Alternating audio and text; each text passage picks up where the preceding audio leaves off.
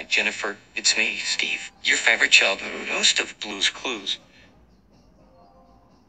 Jennifer heard that you got a terrible head itching, and you had to stay in bed. Oh dear, I'm very sorry to hear that. Well, Jennifer, I hope you will get better really soon. Because I heard that you are a really huge fan of Blues Clues. Also heard that you are a really wonderful Facebook user. And I also heard that you made lots of cool things at the craft fair. I will always be there for you, Jennifer. Because you are my very best Blues Clues friend of all time.